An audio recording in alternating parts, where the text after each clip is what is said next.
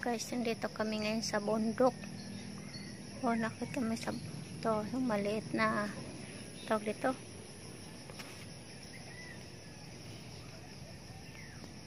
Balay-balay. Ako dito guys, para makita ko yung magandang views.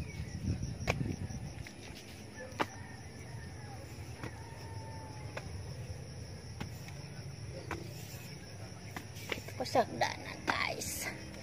Ha.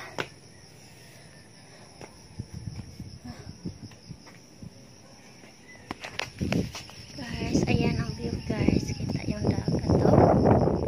Yan. Yun, no?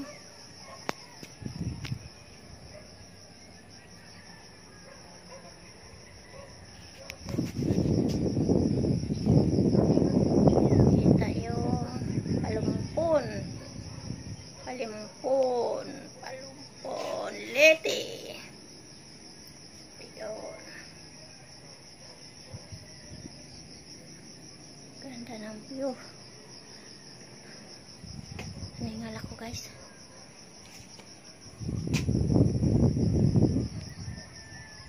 Ayan, yung dagat. Medyo makulimlim lang guys.